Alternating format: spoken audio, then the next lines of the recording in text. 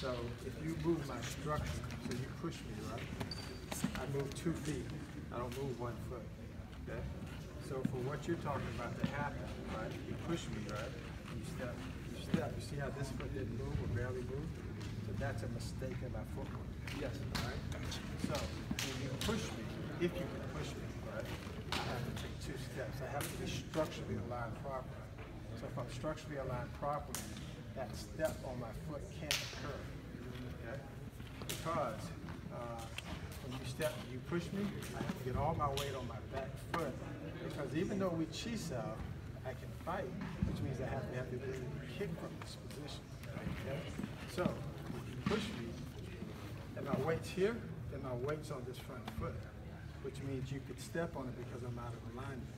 But if you push me, stay exactly where you are, and I pull the foot back, I'm here, then I can kick. Understand? And you didn't lose structure.